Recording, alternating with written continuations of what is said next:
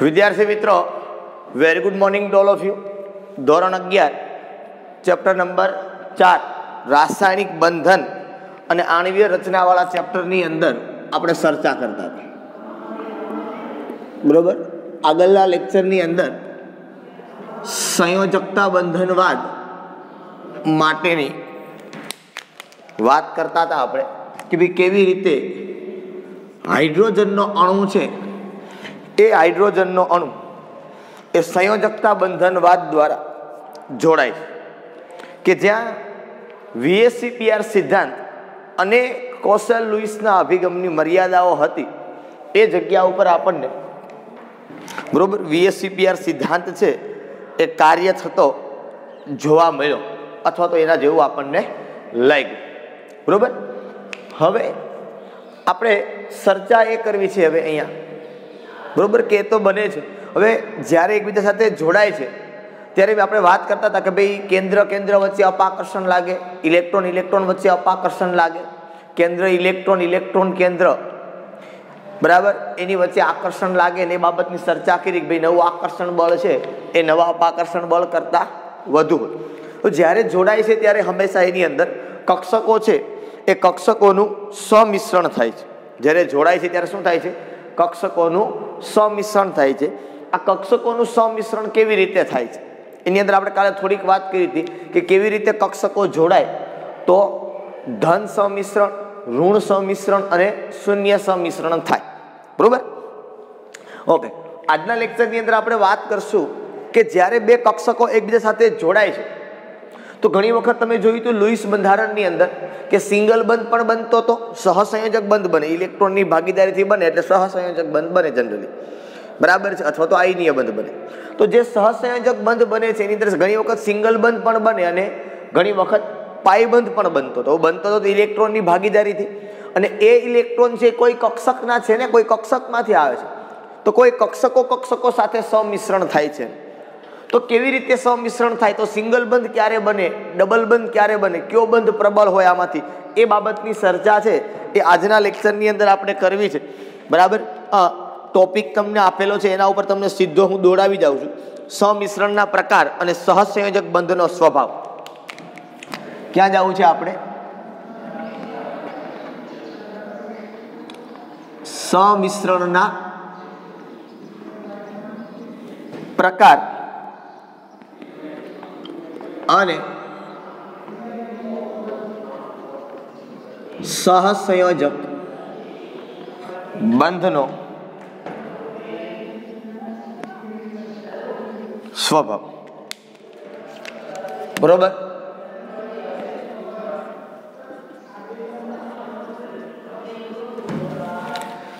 સમિશ્રણના કેટલા પ્રકાર હોય અને એના કારણે સહસંયોજક બંધ છે, એનો પ્રકાર કયો થાય? જનરલી ઇલેક્ટ્રોનની ભાગીદારી થાય એટલે સહસંયોજક બંધ બને. જો સિંગલ બંધ બને, એક એક ઇલેક્ટ્રોનની ભાગીદારી થાય, તો એ જે સહસંયોજક બંધ બને, એને સિગ્મા કહેવાય. શું કહેવાય એને? સિગ્મા જો એક કરતાં વધારે, મતલબ એક એક ઇલેક્ટ્રોનને બદલે મારે બે બે ઇલેક્ટ્રોનની અથવા તો ત્રણ ત્રણ ઇલેક્ટ્રોનની ભાગીદારી થાય, આપણે જેને ગુણક બંધ કહેતા હતા.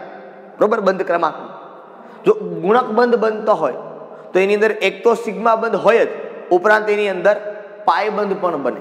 હવે કઈ કક્ષકોનું સમિશ્રણ કરીએ તો સિગ્મા બંધ બને અને કઈ કક્ષકોનું સમિશ્રણ થાય તો પાય બંધ બને. અને આ સિગ્મા બંધ અને પાય બંધ છે, આમાંથી કયો બંધ પ્રબળ છે અને કયો બંધ નિર્બળ છે, આ બાબતની આપણે ચર્ચા છે, એ કરવાની છે આ લેક્ચરની અંદર. બરોબર?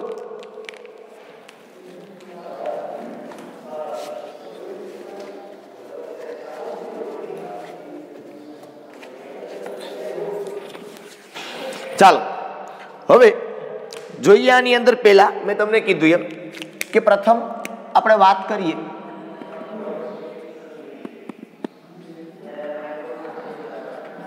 સિગ્મા બંધની. આ સિગ્મા બંધની નિશાની છે. બરોબર? કેમ આપણે આલ્ફા, બીટા, ગેમા આવે, એમ આને શું કહેવાય? સિગ્મા. બરોબર? સિગ્મા બંધ માટેની વાત કરી. કે સિગ્મા બંધની રચના ક્યારે થાય? તો ખાસ કરીને પહેલા હું આપું તમને એક્ઝામ્પલ એને અને પછી આપણે એને સમજવાનો પ્રયત્ન કરીએ માનો કે કોઈ એક પરમાણુની એસ કક્ષક વત્તા કોઈ બીજા પરમાણુની એસ કક્ષક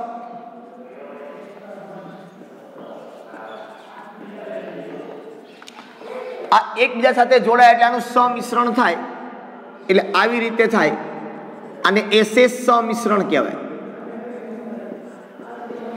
શું કહેવાય? આને એસએસ સમિશ્રણ કહેવાય. એટલે આની અંદર પણ સિગ્મા બને, મતલબ એક એક ઇલેક્ટ્રોનની ભાગીદારી થઈ અહીંયા એસ ઇલેક્ટ્રોન, એક એસ ઇલેક્ટ્રોન. બરોબર? અને આ જે બને છે, એ અક્ષને સમાંતર થાય. કેવી રીતે થાય? અક્ષને આંતર કેન્દ્રીય અક્ષને સમાંતર. બરોબર? હમણાં જોશું એટલે ખબર પડશે તમને કે આંતર કેન્દ્રીય અક્ષ એ શું છે. પછી માનો કે એક એસ કક્ષક હોય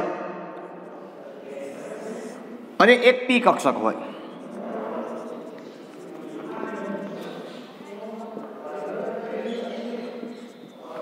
એક એસ કક્ષક હોય ને એક પી કક્ષક હોય. તો આવી રીતે જોડાણ થયું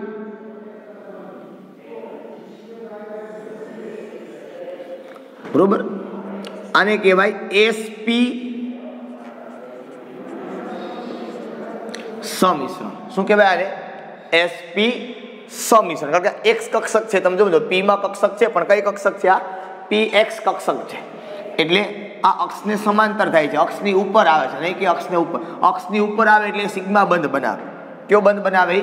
સિગ્મા બંધ બનાવે. સપોઝ બે પી કક્ષકો હોય. પી કક્ષક પ્લસ પી કક્ષક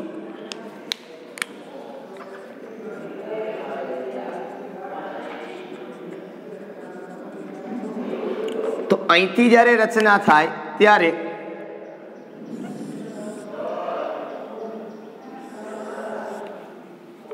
આને કહેવાય પીપી સમિશ્રણ. શું કહેવાય આને? પીપી સમિશ્રણ આને કહેવાય. બરોબર? એક એસ કક્ષક, પી કક્ષક જોડાય અને એસપી સમિશ્રણ બને છે. એટલે આને શું કહેવાય? પીપી સમિશ્રણ તરીકે આને ઓળખવામાં આવે છે. બરોબર? તો આ બધી જ્યારે જોડે ત્યારે સિગ્મા બંધ. મતલબ અહીંયા તમે જો હું શું કહું છું? અક્ષને સમાંતર. મતલબ તમે જે જોડો છો, એ આ કોઈ એક અક્ષ છે તમારી, એની ઉપર આવે છે. આ એક અક્ષની ઉપર આવે છે. આ એક અક્ષની ઉપર આવે છે. એટલે જ્યારે અક્ષની ઉપર આવે ત્યારે સિગ્મા બંધ બનાવે. શું બનાવે સિગ્મા બંધ બનાવે.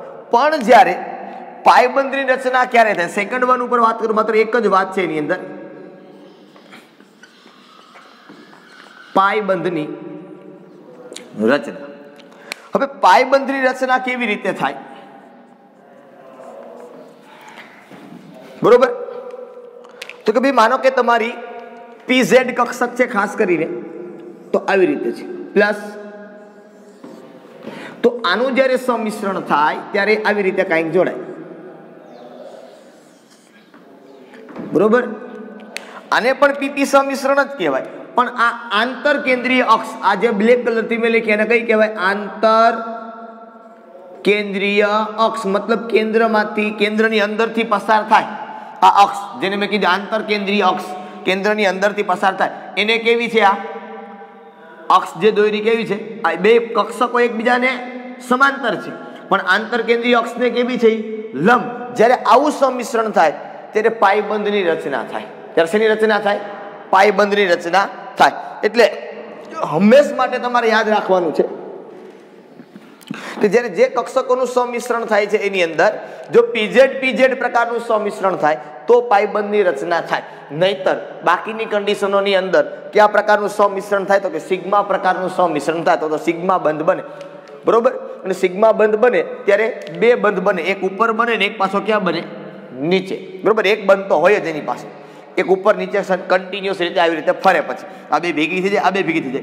આ ઉપરનો ધન લોભ કહેવાય અને ઋણ લોભ કહેવાય. આપણે પ્લસ અને માઇનસ કહીએ એટલે એકબીજાના લોભ કહેવાય કે ગોળા એકબીજાના સ્પર્શે. બરોબર? હવે આમાં પ્રશ્ન એક છે સિગ્મા બંધ પ્રબળ હોય કે પાયબંધ પ્રબળ હોય? આમાંથી પ્રબળતા કોની? સિગ્મા બંધ છે એ વધુ પ્રબળ હોય કે પાયબંધ વધુ પ્રબળ હોય? આમાંથી પ્રબળતા છે એ કોની વધારે હશે અને કોની ઓછી હશે?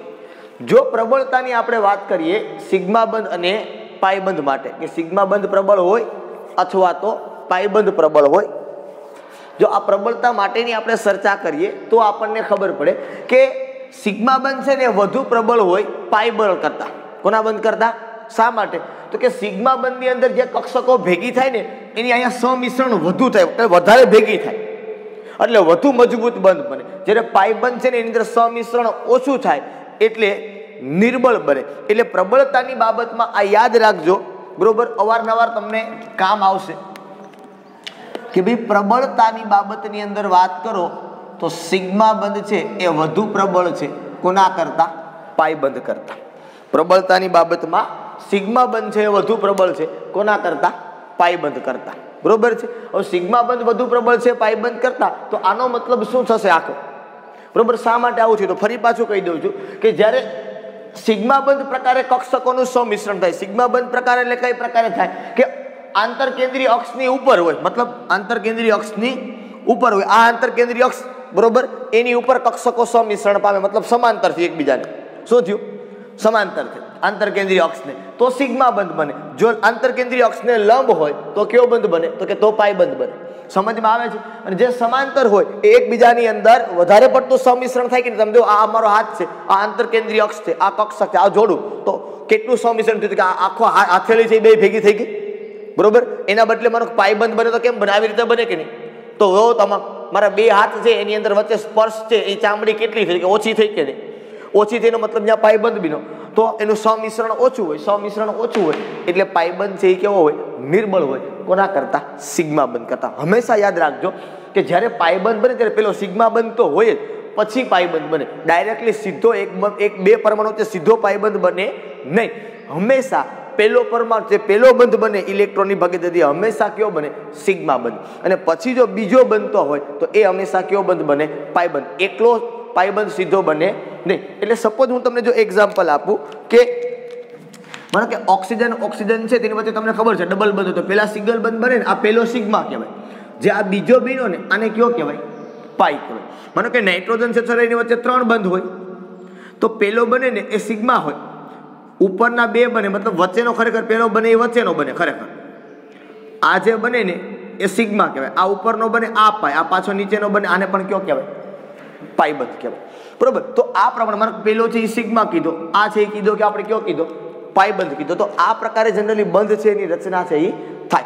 બરોબર? એટલે આ બાબત એક અગત્યની છે ને આપણે મગજની અંદર રાખવાની છે પહેલો બંધ બને, એ સિગ્મા બંધ બને, બીજો બંધ બને, એ પાયબંધ બને. એટલે આ પ્રકારે બંધ છે, એની રચના છે, એ જનરલી થાય છે. બરાબર છે? ઓકે ચાલો. તો સિગ્મા બંધ અને પાયબંધ માટેની આપણે વાત કરી કે આ પ્રકારે સિગ્મા અને પાયબંધની રચના થાય છે. બરોબર? હવે આપણે જવાનું છે સંકરણની અંદર. શેની અંદર જવું છે? સંકરણની અંદર. કે ભાઈ કયા પ્રકારે સંકરણ છે? એ થાય છે અને સંકરણના પ્રકાર કેટલા છે? હું સીધો તમને મારી રીતે સંકરણની અંદર લઈ જાઉં છું. ટેક્સ્ટબુક પ્રમાણે આપણે નથી ચાલતા. કે સંકરણ કેવી રીતે કરવાનું છે એ આપણે આપણા મુદ્દા ઉપર ચાલીએ કે કેવી રીતે સંકરણ થશે. બરોબર? સંકરણ એટલે શું છે? તો કે બે જુદા જુદા પરમાણુઓ છે. અથવા તો સમાન પરમાણુ હોય કે જુદા જુદા પરમાણુ હોય કે સમાન પરમાણુ એકબીજા સાથે જોડાય ત્યારે હંમેશા તમને હવે ખબર પડી કે કક્ષકોનું સંમિશ્રણ થાય. ત્યારે કઈ કઈ કક્ષકો છે એ ભાગ લે છે. બરોબર? આ બધી કક્ષકો ભેગી થાય અને જે રચના થાય એને સંકરણ કહેવાય. શું થયું કહેવાય? સંકરણ. જેને ઇંગ્લિશમાં કહેવાય હાઇબ્રિડાઇઝેશન શું કર્યું કહેવાય? હાઇબ્રિડાઇઝેશન બરોબર? સંકરણ છે એને શું કહેવાય? ઇંગ્લિશમાં હાઇબ્રિડાઇઝેશન હવે હાઇબ્રિડાઇઝેશન જે વાત કરીએ છીએ આપણે સંકરણ માટેની, તો તમે કદાચ ઘણી વખત સાંભળ્યું છે કે ભાઈ હાઇબ્રિડ બિયારણ છે. કદાચ મારો ખેતીની અંદર હોય તો તમે કહેતા કરો હાઇબ્રિડ બિયારણ છે. હાઇબ્રિડ બિયારણ એટલે કેવું? તો કે જે મૂળ બિયારણ છે એને કોઈ બીજા બિયારણ સાથે મિશ્રિત કરવામાં આવે. અને કંઈક નવું બિયારણ ઉત્પન્ન કરવામાં આવે. હોય એના જેવું જ. આપણે કેમ કે અત્યારે અમેરિકન મકાઈ તો પેલી એ મૂળ મકાઈ હોય, એમાંથી કોઈ કોઈ બીજા પ્રકારનો જે છોડ છે એ બેયનું પાછું મિશ્રણ કરવામાં આવે, કે માનો કે બીજ છે, એને ભેગા કરવામાં કંઈક અંકુરણ કરતા હશે એ લોકો, ખબર નહીં બાયોલોજીની રીતે. બરોબર? અને કંઈક નવું પેટર્ન પ્રકારનું બનાવે. જેને સંકરણ થયું કહેવાય. શું થયું કહેવાય? સંકરણ થયું કહેવાય. એમ અહીંયા આપણે જુદા જુદા અણુઓની અંદર કેવી રીતે પરમાણુની કક્ષકો, જેને પરમાણવીય કક્ષકો કહેવાય, one S, two S, two P, three S, three P જુદા જુદા પરમાણુની જુદી જુદી કક્ષકો છે. એ એકબીજા સાથે જોડાશે અને કેવી રીતે એનું સંકરણ થાય છે. આ બાબત ઉપર જનરલી આપણે ચર્ચા છે, એ કરવાની છે. એટલે આપણે લેક્ચરની અંદર આગળ આપણે સંકરણ છે, એ જોવાનું છે. હવે બે ત્રણ ઘણા બધા પ્રકારના ખરેખર તો સંકરણ આવે, પણ આપણા સિલેબસમાં તમારે બે ત્રણ પ્રકારના સંકરણ છે, એ જનરલી જોવાના છે. એક એક બે બે એક્ઝામ્પલ તમારે એના જોવાના છે. અને એ પછી આપણે એને આગળ કામ કરવાનું છે. ઓકે પહેલું જે જોવાનું છે તમને, જે કીધું છે એ કીધું છે એસપી થ્રી સંકરણ. બરોબર? હું દરેક વસ્તુ તમને આની અંદર ભેગી ભેગી સમજાવી દઈશ. હું જુદી ભેગી નથી લેતો આની અંદર, બરાબર? એટલે અમુક થાય કે સાહેબ તમે ટેક્સ્ટબુકમાં તો ઠેકડા મરેવા જાઉં છું. પણ જે આપણે કામ જે જોઈએ છે જેની ચર્ચા આપણે કરવી છે, એ ઓલરેડી હું ટોપિકની અંદર સાથે સાથે કવર કરતો જાઉં. એસપી થ્રી સંકરણ છે એ કેવી રીતે થાય? બરોબર? એક તો વસ્તુ સમજો એસપી થ્રી સંકરણનો મતલબ શું થાય? તો કે એક એસ કક્ષક અને ત્રણ પી કક્ષક. એક એસ કક્ષક અને ત્રણ પી કક્ષક. આ ત્રણેય ભેગ, આ ચાર કક્ષકો ભેગી થાય. અને જે રચના થાય એને શું કહેવાય? એસપી થ્રી સંકરણ શું કહેવાય ને એસપી થ્રી સંકરણ હવે ટોટલ આની ટકાવારી સો ટકા હોય. બરોબર? એટલે આની અંદર તમે જુઓ, એટલે એસ કક્ષક છે એનું સમિશ્રણ પચીસ ટકા થાય. અને પી કક્ષક છે, એનું સમિશ્રણ પંચોતેર ટકા થાય. એસ કક્ષક છે, એનું સમિશ્રણ કેટલું થાય? પચીસ ટકા થાય. અને પી કક્ષક છે, એનું સમિશ્રણ કેટલું થાય? તો કે એનું સમિશ્રણ થાય પંચોતેર ટકા થાય. આ પ્રકારે એનું સમિશ્રણ છે એ થાય. બરાબર છે? ઓકે. હવે આ જે એસપી થ્રી સંકરણ થાય છે, એ એસપી થ્રી સંકરણની બાબતની અંદર આપણે ચર્ચા કરીએ કે વાત કરીએ. બરોબર કે શેની વાત આપણે કરીશું કે એની અંદર ઘણા બધા એક્ઝામ્પલ હોઈ શકે. કદાચ તમને વીએસસીપીઆર સિદ્ધાંત હતો તમે આપણે એકાદ એક્ઝામ્પલ એસપી થ્રી સંકરણનું પણ આપેલું હતું એની અંદર. તમને ખ્યાલ હતો બરોબર? એની અંદર પહેલા આપણે મિથેનમાં સંકરણ જોઈએ. શેમાં જોઈએ? સીએચ ફોરમાં સંકરણ થશે કયું સંકરણ એસપી થ્રી શેની અંદર જોવું છે આપણે? સીએચ ફોરમાં સંકરણ જોવું છે. હવે સીએચ ફોરમાં સંકરણ જોવું છે, એટલે આની અંદર પહેલાં તો જોવાનું, મધ્યસ્થ પરમાણુ તમારો કયો છે? તો કે મધ્યસ્થ પરમાણુ છે એ તમારો છે કાર્બન. તો અહીંયા લખો કાર્બન. એનો નંબર તો કે છ. એની ઇલેક્ટ્રોન રચના લખો. તો આ લખીએ આપણે હિલિયમ. ટુ એસ ટુ અને ટુ પી ટુ. બરાબર? અહીંયા એક ઇલેક્ટ્રોન આ બે ઇલેક્ટ્રોન હવે પી કક્ષકની અંદર કેટલા હોય? તો કે પી કક્ષકની અંદર હોય ત્રણ. આ એક ઇલેક્ટ્રોન આ બે ઇલેક્ટ્રોન હવે કાર્બનની જે ઇલેક્ટ્રોન રચના લખી, આને એની ભૂમિ અવસ્થામાં કહેવાય. કઈ અવસ્થા કહેવાય એની? ભૂમિ અવસ્થા. ભૂમિ અવસ્થા મતલબ એ ઇટ એની અવસ્થામાં હતો. હવે એ કાર્બન જે લખ્યો આપણે, એને સ્ટાર તરીકે આપવું, એટલે એને કહેવાય ઉત્તેજિત અવસ્થા. કઈ અવસ્થા કહેવાય એને? ઉત્તેજિત. હવે ઉત્તેજિત અવસ્થામાં શું થાય? તો કે આ ટુ એસ આ જે યુગ્મીકરણવાળો ઇલેક્ટ્રોન છે ને ટુ એસ કક્ષકનો ઇલેક્ટ્રોન એ ટુપીની અંદર ઠેકડો મારીને જાય એટલે ઉત્તેજિત થાય. બરોબર? એટલે આપણે એને ઉત્તેજિત અવસ્થા બોલ્યા. બીજું કાંઈ નથી. તો આ હિલિયમ અહીંથી થઈ જાય ટુ એસ વન અને અહીંથી જાય ટુ પી થ્રી. બરોબર? એટલે એને ઉત્તેજિત થયું કહેવાય.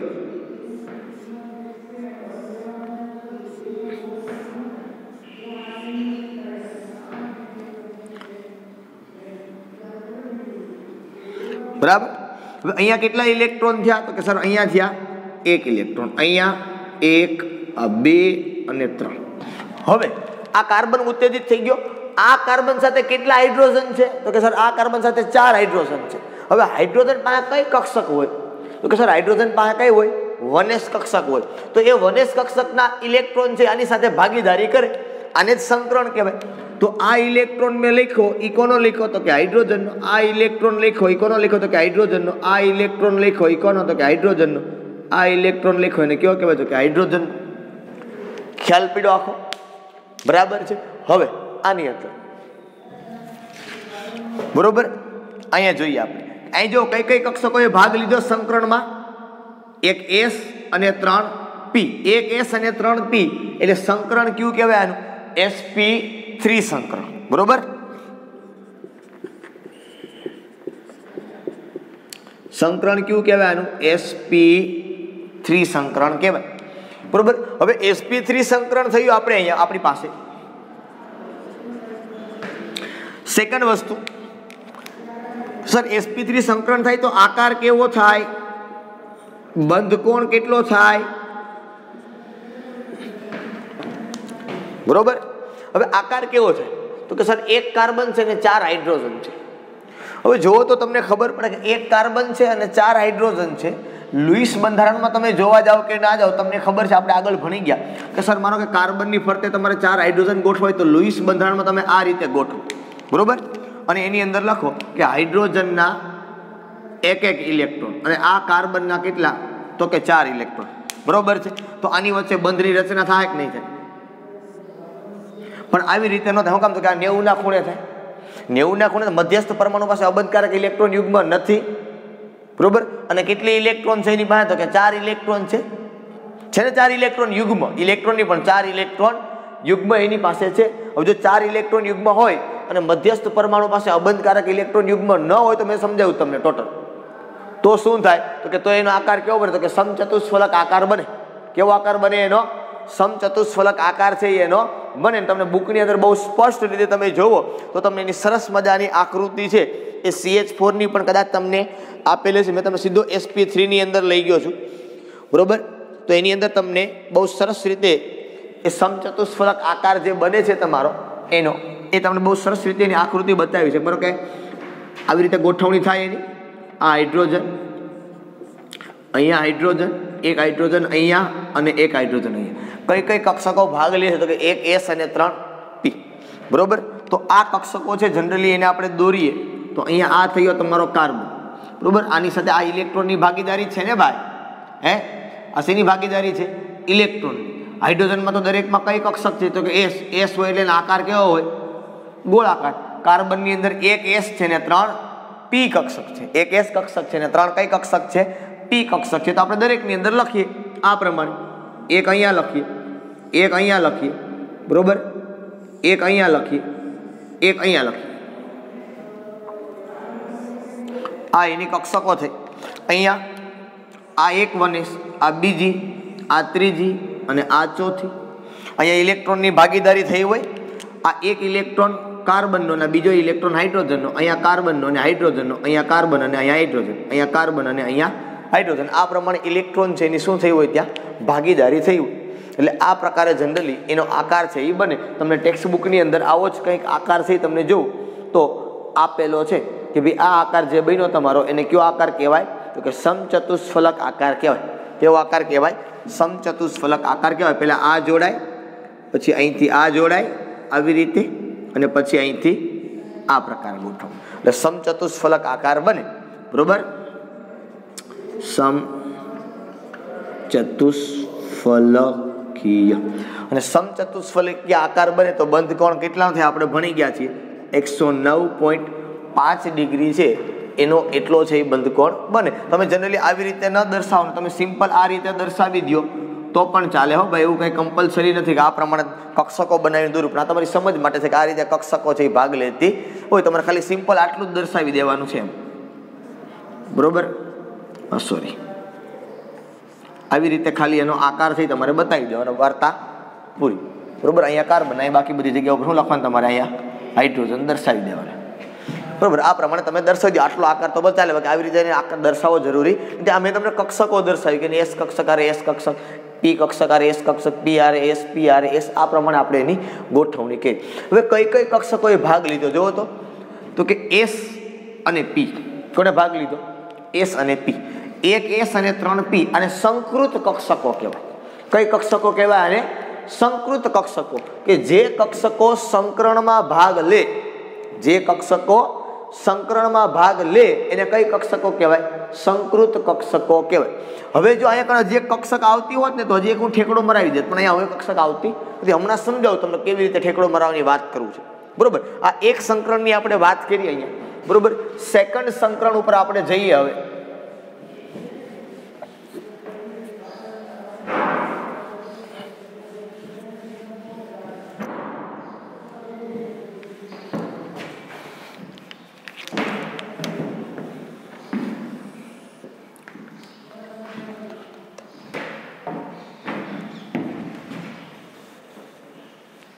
બરોબર?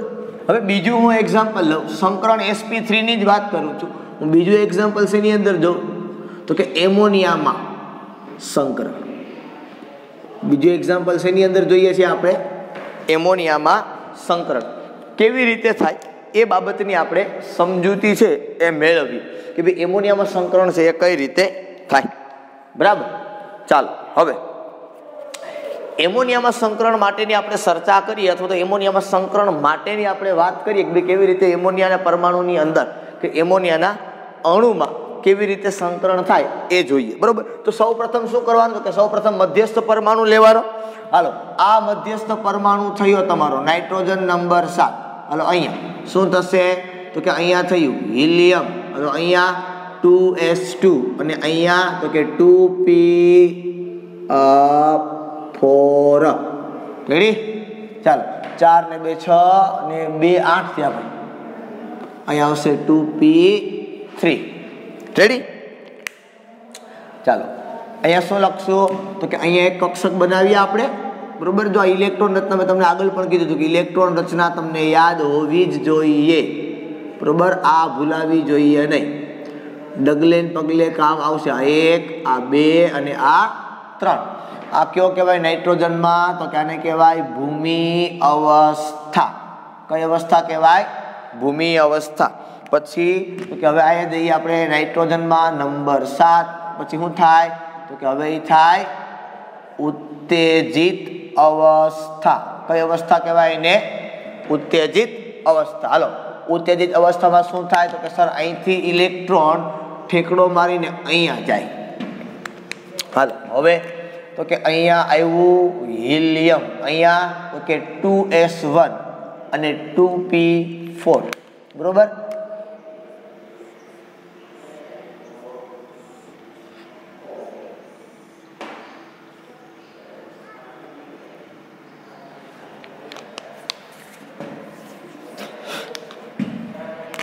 રેડી હાલો, અહીંયા આ એક, અહીંયા એક બે, આ ત્રણ અને આ ચાર.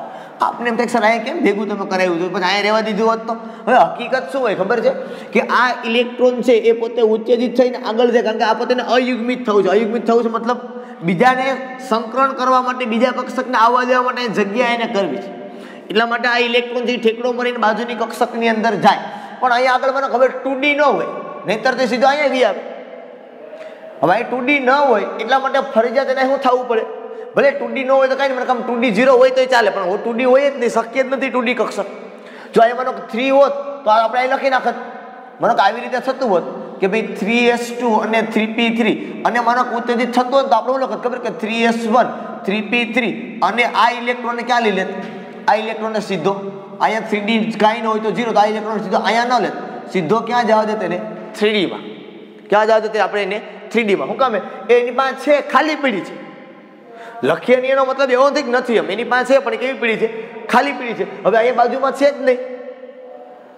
એની પાસે કક્ષક છે નહીં. બરોબર, એની પાસે કક્ષક નથી.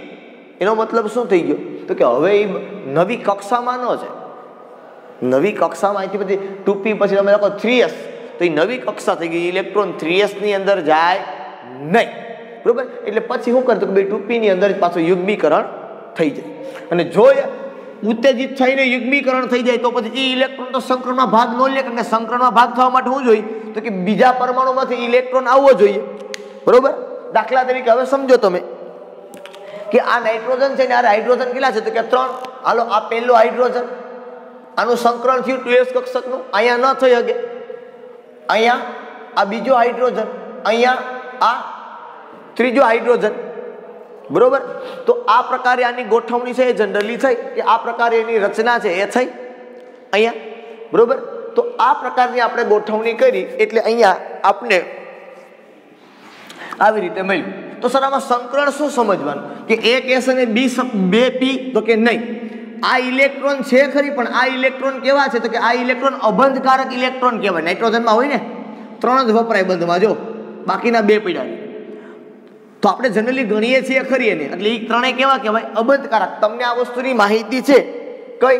તો કે ભાઈ આ નાઇટ્રોજન છે એની સાથે આ ત્રણ હાઇડ્રોજન જો ભાગીદારી કરે, તો આપણે આ રીતે લખીએ કે બે આ ત્રણ ઇલેક્ટ્રોન હાઇડ્રોજનના આ એક બે, આ એક બે અને આ ત્રણ. એના. બરોબર? તો અહીંથી એની વચ્ચે બંધ છે, એની રચના થાય. અને આ અબંધકારક ઇલેક્ટ્રોન યુગમાં આપણે જોયું તો આગળના લેક્ચરમાં કે આ અબંધકારક ઇલેક્ટ્રોન યુગમાં અને બંધકારક વચ્ચે અપાકર્ષણ થાય. એના કારણે આ બેને શું કરે? તો કે ધક્કો મારે અને ક્યાં જાય? નીચે જાય. ધક્કો મારીને ક્યાં જાય? નીચે જાય. બરોબર? એટલા માટે આનો બંધ કોણ છે એ ખરેખર કેવો થઈ જાય? નીચો થઈ જાય.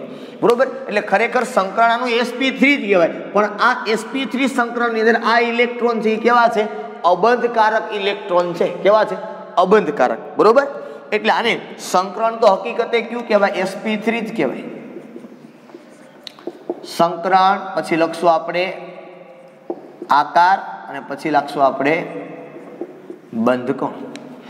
સંકરણ થયું આની અંદર. કયું થાય તો કે એસપી થ્રી હવે તમને ખબર છે આકારની અંદર તમે જનરલી શું કરો? તો કે ભાઈ આ નાઇટ્રોજન અને એની સાથે જોડાયેલા આ હાઇડ્રોજન છે નીચે આવી ગયો હોય. બરોબર? આ હાઇડ્રોજન અહીંયા શું હોય એની પાસે? અબંધકારક ઇલેક્ટ્રોન યુગ્મ એટલે તમે આને જનરલી આ પ્રકારે કરો, આ ત્રિકોણ અને આ થઈ ગયો એનો પિરામિડ. બરોબર? એટલે શું કહો તમે આ આકારને? ત્રિકોણીય પિરામિડ લ શું કહેવાય ને ત્રિકોણીય પિરામિડ બંધકોણ કેટલો થાય? તો કે બંધકોણ એસપી ત્રી સંકલન તો ખરેખર થવો જોઈએ એકસો નવ પોઈન્ટ પાંચ ડિગ્રી. પણ આ આને ધક્કો મારે અને નીચે વી આવે છે. એટલે આનો બંધકોણ છે એ થાય એકસો ને સાત ડિગ્રી. કેટલો બંધકોણ થઈ જાય એનો? એકસો સાત ડિગ્રી જેટલો બંધકોણ છે એ થઈ જાય. ઓકે હજી એક સંકરણ એસપી થ્રીની અંદર આવે છે. આપણે એને જોઈએ. તો કે આવા તો ઘણા બધા, પણ તમને ટેક્સ્ટ બુકમાં આપ્યા છે, એના ઉપર તમને હું વાત કરું છું.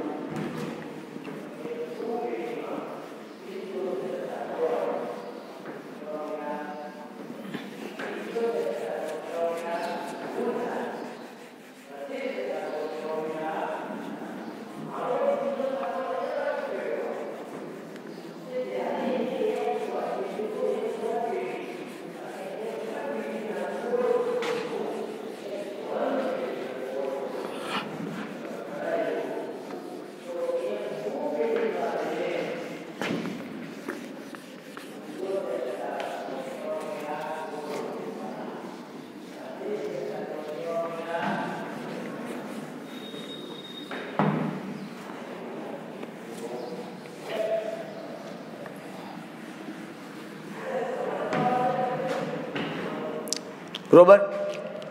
ત્રીજું આપણે જોઈએ. એચ ટુઓમાં સંકરણ. શેમાં જોવું છે આપણે? એચ ટુઓમાં સંકરણ આપણે એ જ જોશું અત્યારે કયું એસપી થ્રી કેવી રીતે થાય? બસ એ જ વસ્તુ સમજવાની છે. યાદ રાખજો કે અબંધકારક ઇલેક્ટ્રોન યુગ્મ પક્ષકમાં હોય તો પણ એ સંકરણની અંદર ભાગ લે છે. અહીંયા પણ એક, ટુ એસ અને ત્રણે ત્રણ ટુપી એને સંકૃત કક્ષકો કહેવાય. ટુપી એક્સ ટુપી વાય અને ટુપી ઝેડ. બરોબર? ચાલો એચ ટુઓમાં સંકરણ જોવું છે. ઓક્સિજન પરમાણુની વાત કરું. ઓક્સિજન નંબર આઠ. ઇલેક્ટ્રોન રચના લખું થશે helium two S two two P four. બરોબર? આને કઈ અવસ્થા કહેવાય? તો કે આને કહેવાય ભૂમિ અવસ્થા. કઈ અવસ્થા કહેવાય? ભૂમિ અવસ્થા. અહીંયા ટુ એસ કક્ષક છે આપણે. આ એક, અહીંયા બે અહીંયા. આ એક, આ બે, આ ત્રણ અને આ ચાર. હવે તમને ખબર છે ઇલેક્ટ્રોન ક્યાં છે તો કે ઠેકડો મારીને ટુ એસમાંથી હજી અહીં જઈ શકે આગળ, પણ ટુ ડી છે નહીં, એટલે ફરજિયાત પાછું એને અહીંયા જ આવવું પડે. બરોબર? એટલે પાછું લખીએ આપણે. આ ઓક્સિજન નંબર આઠ, આ સ્ટાર છે એ દર્શાવે છે કે તમારો પરમાણુ છે એ કેવો છે તો કે ઉત્તેજિત. હિલિયમ ટુ એસ વન અને ટુ પી ફાઈવ. બરોબર, બહુ અગત્યની બાબતો છે આ નાની નાની, અહીંયા વન.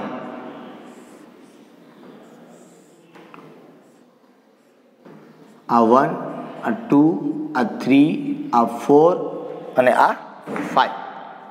બરોબર? હવે અહીંયા જોવાનું આપણે સર ઓક્સિજન મધ્યસ્થ પરમાણુ કેટલા હાઇડ્રોજન છે? કે બે હાઇડ્રોજનની કઈ કક્ષક ભાગ લે તો કે એમાં એક જ હોય? કઈ હોય તો કે વન એસ હાલો, અહીંયા એક લીધો તો કે આ બે થયા. બરોબર? હાલો અહીંયા જોવાનું સંકરણ. બધાય ભાગ લે છે. આ બે છે એ કેવા? તો કે અબંધકારક ઇલેક્ટ્રોન યુગમાં. આપણે બહુ સરસ રીતે આની માહિતી છે. તો અહીંયા લખીએ આપણે આને સંકરણ, પછી લખીએ અહીંયા આપણે આકાર, અને પછી અહીંયા લખીએ આપણે બંધ કોણ રેડી હાલો, સંકરણ કયું થશે? તો કે સાહેબ, સંકરણ થાય એસપી થ્રી બરોબર? બંધ કોણમાં સોરી આકારમાં તમને ખબર છે કે ઓક્સિજનમાં પહેલાં હાઇડ્રોજન ને હાઇડ્રોજન આ પ્રમાણે હોય. બરોબર? આવી રીતે. હું બધા ઇલેક્ટ્રોનને અહીંયા લખું છું. શું કામ તમને ખબર છે આ ભાગ થઈ ગયો. આ બે અબંધકારક ઇલેક્ટ્રોન યુગમાં થયા. તમને ખબર છે અપાકર્ષણ વધુ કરે ઓલા એકલા કરતા. આને ધક્કો મારશે નીચેની તરફ. હાવ. બરોબર? એટલે આનો આકાર કેવો થઈ જશે? તો કે આવો થઈ જશે કંઈક. અને અહીંયા આ બે આવી રીતે.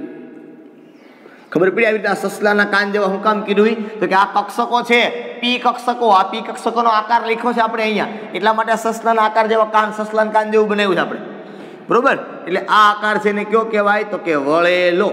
બે ઇલેક્ટ્રોન યુગમાં છે. અબંધકારક બે ઇલેક્ટ્રોન યુગમાં છે. બે આને ધક્કો મારે. એટલે આનો બંધ કોણ છે? એ વધારે પડતો ઘટી અને એકસો ને ચાર પોઈન્ટ પાંચ ડિગ્રીનો થઈ જાય. કેટલો થઈ જાય? એકસો ચાર પોઈન્ટ પાંચ ડિગ્રી જેટલો બંધ કોણ છે એ જનરલી આપણે શેની અંદર જોવા મળે તો કે એચની અંદર જોવા મળે. આ એસપી થ્રી સંકરણ જોયું. ધ્યાન રાખવાનું એમાં કે એમાં એસ કક્ષકની લાક્ષણિકતા છે પચીસ હોય અને પી કક્ષકની લાક્ષણિકતા પિંચોતેર હોય. આ દરેકની અંદર એક એસ કક્ષક અને ત્રણ પી કક્ષકો અને સંકૃત કક્ષકો કહેવાય. એક two S two P X two P Y અને ટુ પી ઝેડ બરોબર? કે જે કક્ષકો સંકરણમાં ભાગ લે એને સંકૃત કક્ષકો કહેવાય. જે કક્ષકો સંકરણમાં ભાગ લે તે કક્ષકોને સંકૃત કક્ષકો કહે છે. બરાબર છે? સમજમાં આવે છે આખી બાબત? કે ભાઈ જે કક્ષકો છે એ સંકરણની અંદર ભાગ લે તો એ કક્ષકો છે ને જનરલી આપણે કઈ કક્ષકો કહીએ છીએ? કે એ કક્ષકોને સંકૃત કક્ષકો તરીકે ઓળખવામાં આવે છે. એટલે આ પ્રકારે આખી આપણી રચના છે એ કરવાની છે અને આ પ્રકારે આખી રચના છે એ આપણે સમજવાની છે. હજી આપણે એસપી થ્રી સંકરણ જોયું. આ સિવાયના પણ અમુક સંકરણો હજી તમને ટેક્સ્ટબુકની અંદર આપ્યા છે. બરાબર? એ દરેક સંકરણની આપણે વાત છે એ કરવાના છીએ, પણ ખાસ સરસ રીતે સમજવાનું છે કે સંકરણ થાય કઈ રીતે. ભૂમિ અવસ્થામાંથી ઉત્તેજિત અવસ્થામાં ઇલેક્ટ્રોન આવે તો ક્યાં જાય? બરોબર? અને જે ઇલેક્ટ્રોન ભાગ નથી લેતા એ અબંધકારક ઇલેક્ટ્રોન યુગમાં છે. ક્યાં ઇલેક્ટ્રોન યુગમાં છે એ? અબંધકારક ઇલેક્ટ્રોન યુગમાં છે. એટલે ખરેખર સંકરણમાં ભાગ લે છે. કારણ કે એના કારણે જ આ આકારથી વળેલો થાય કે નીચે બેસે. બાકી એમને એના વગર આકાર થઈ શકતો નથી. કારણ કે આપણે અહીંયા ખાસ વસ્તુ શું જોવાની છે? સંયોજકતા બંધન સિદ્ધાંત દ્વારા કે કેવી રીતે ગોઠવણી થઈ, બરોબર? અને એનો આકાર આવો કઈ રીતે થાય છે? કે આની વચ્ચે બંધકોણ આટલો કઈ રીતે બને છે? આ વસ્તુ પણ આપણે અહીંયા સમજવાની ખાસ છે. બરાબર છે? ઓકે, ચાલો, અહીં સુધી આજના માટે રાખીએ. ફરી પાછા આપણે નવા લેક્ચરની અંદર મળશું. ત્યાં સુધી બધાને, tata bye bye and see.